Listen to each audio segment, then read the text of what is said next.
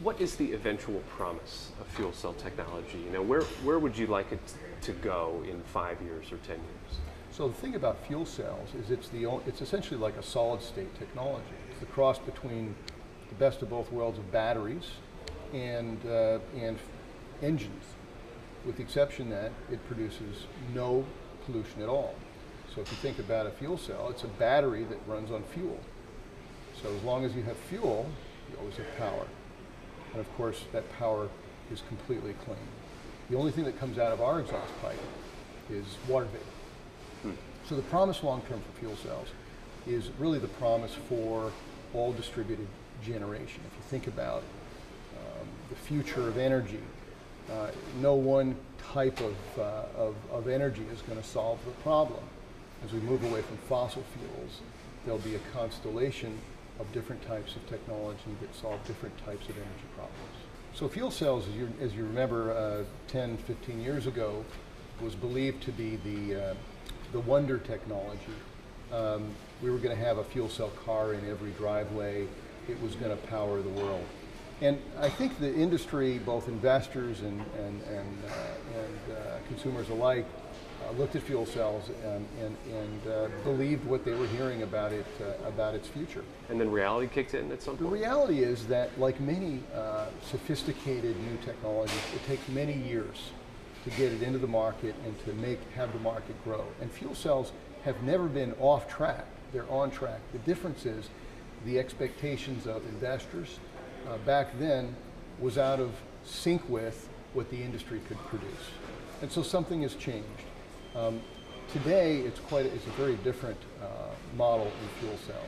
The fuel cell industry has been able to deliver on its promises, has set realistic timelines, and companies like Ballard, we've focused entirely on near-term markets, markets where we can get revenue this year, next year, high growth markets. I'm delighted that, that Bloom is making progress and that they're a company that's on the move in this space. Uh, we really need the competition in an industry in order to create a healthy industry. But what we don't need is promises that can't be kept.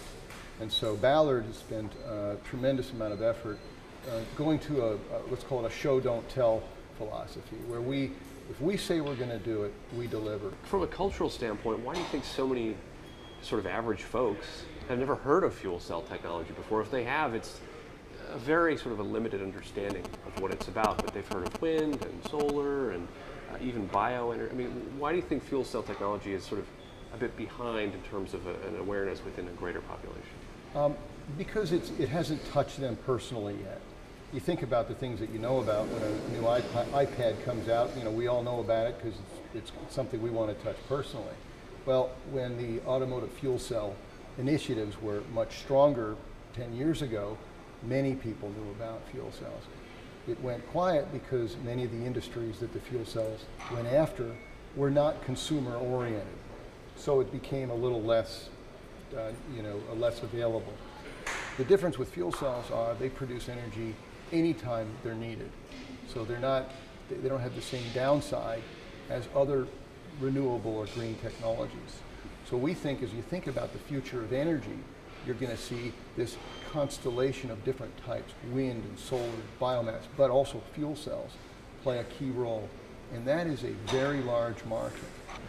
So this is a slightly smaller version of the bus here? Right, so this is a, this is a, a, a mock-up of our fuel cell bus. It looks to a consumer just like every other bus, it just makes no noise and creates no pollution. So what's, what's in here? So you come in with a system like this. This is a telecommunications system produced by our partner, Dantherm. And in here uh, are uh, everything needed to run their, their, their mobile phone network. So what you've got here is a fuel cell. This provides all the power for this system. So this system is not connected to any power source at all. The energy comes out of here and it runs their telecommunication equipment, which is in, in here, it's, their radios. Right, so the wireless is, signal can be sent out. Which is connected then to the wireless tower and this runs their whole their whole uh, uh, wireless network. So what you can do is you can install one of these anywhere that power is needed. Here in Canada, there's a new uh, a new carrier called Wind Mobile, relatively new startup company, and they're competing for the for the for the uh, wireless business here. Well, they're growing so fast that they have not been able to get um, uh, wireline connection for power in some of the regions. So instead of waiting, they just put one of these fuel cell power systems in, and overnight they're up and running. So it's, it's revolutionized the way telecom carriers can get energy and also in a clean, environmentally, you know, uh, uh, uh, uh, responsible way.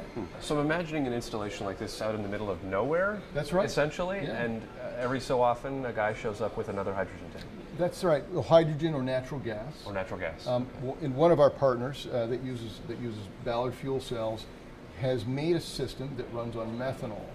So methanol is a liquid, easily transportable, and can be put in you know five gallon jugs and walked around the central the central desert of, of Africa uh, to fill up a system. So. Um, as, as I said before, uh, you know, we're in a, a new world where energy has got to be provided in many different ways, and fuel cells play a key role in the growth of the energy uh, distribution around the world. This is an example of how it's done. Multiple fuels, multiple regions, um, all specific to what the needs of that particular area are. how does this compare cost-wise So, to its alternative? so uh, in, uh, you just pick on a place like uh, India, it will cost less to operate this in India than they use today. So this is a cost savings for them. More importantly, it's more reliable. It takes less maintenance. You don't need the, it, you know, it's not a, a, a, an engine that has a thousand parts that has to be rebuilt twice a year. Uh, it doesn't have batteries that wear out. So the maintenance on it's much simpler and a better fit for developing regions. So why aren't these everywhere? Well, it's a new. It's, we're just at the beginning of the of the growth cycle in this particular segment. And remember, the telecom operators; um, these are large companies that take sometimes years to qualify new new approaches.